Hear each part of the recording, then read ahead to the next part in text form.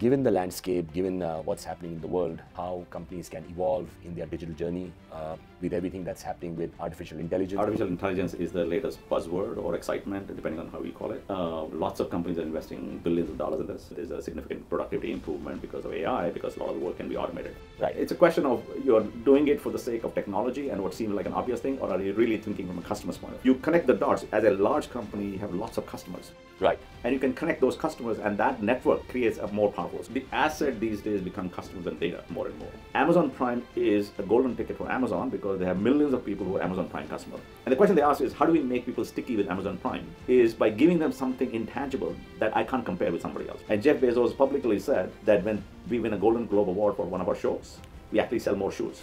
Tech industry plays a huge role in India, given about 10 to 12 million people are employed in that industry. Where do you think is there any extent of job losses that are likely to happen? On one hand, you will have a job loss on this, but there will be new set of jobs that get created because somebody has to create those applications of AI. Right. Somebody has to create those modules for companies to implement. Right. And you will see mushrooming of these companies.